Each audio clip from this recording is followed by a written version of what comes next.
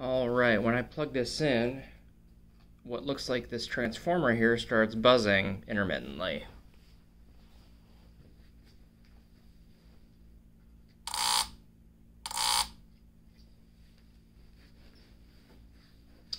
Now, of course, I've already disconnected the subwoofer from the amplifier, but when the subwoofer was connected, it would thrum, honk, something to that effect.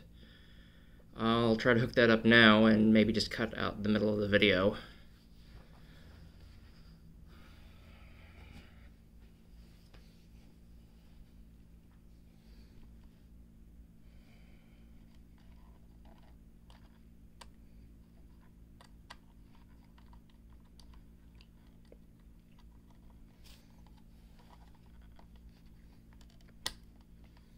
All right, that's been hooked up. Now if I plug it in,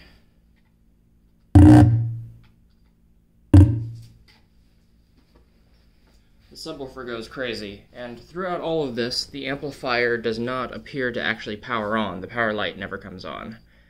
And this also happens regardless of whether the amplifier on-off switch is actually set into the on position, I guess auto, or the off position, as noted if we go ahead and, of course, look at it upside down.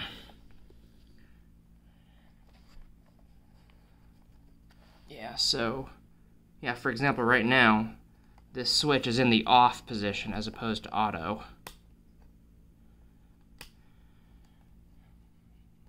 But yeah, so as far as I can tell from my cursory and very much amateur uh, look at what looks like the amplifier board, I'm not seeing any capacitors that look like they're bulging or have failed it looks like there's just a transformer issue of some sort, but I have no idea how I would go about trying to replace this with a similar part.